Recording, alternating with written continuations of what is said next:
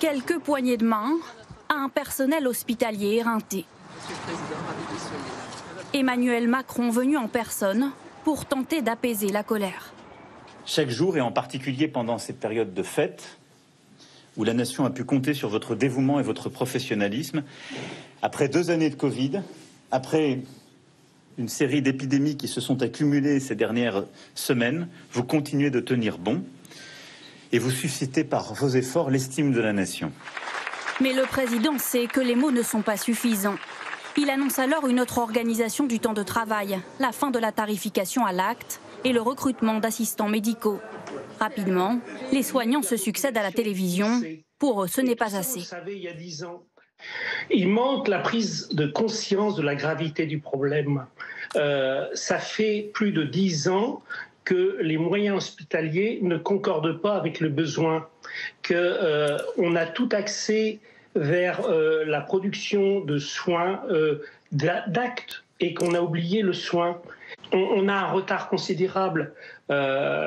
il faut l'équivalent d'un plan Marshall si on veut sauver l'hôpital. Des foyers de mécontentement multiples. Le système hospitalier est aussi fragilisé par une grève depuis deux semaines des médecins généralistes.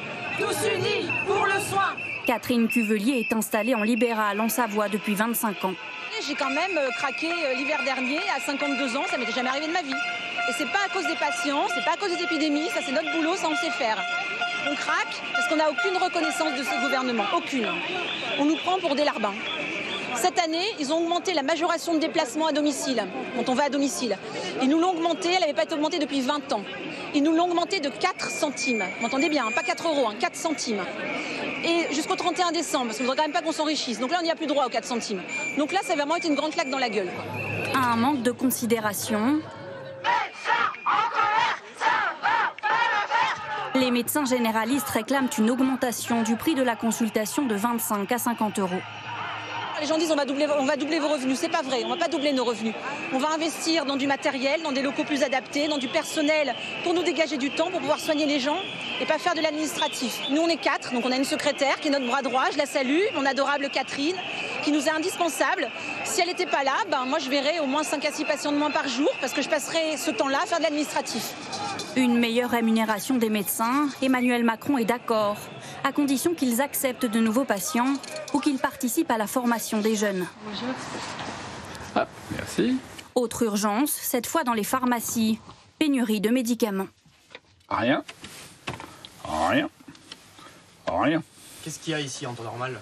Ici, il y a ici l'admoxicilline, 250, ici 500. L'antibiotique pour enfants est en rupture de stock dans 70% des officines. Elle manque aussi de produits à base de paracétamol. Le problème, c'est qu'il y a une augmentation de 13% de la consommation de paracétamol, avec euh, tous ces phénomènes grippaux, qui n'a pas été anticipé par les industriels. Ils réagissent, nous sommes entre guillemets sur leur dos, si je peux m'exprimer ainsi. Mmh. Ils font tourner leur chaîne 24 heures sur 24. Nous avons du paracétamol, mais pas toutes les formes. Sur le paracétamol, les industriels me disent ça va être très vite. Mais il y a le retour à la normale dans les stocks et il y a le retour à la normale dans les pharmacies, mmh. qui sont là aussi des choses différentes. Depuis hier, la vente en ligne de paracétamol est interdite, au moins jusqu'à la fin du mois de janvier.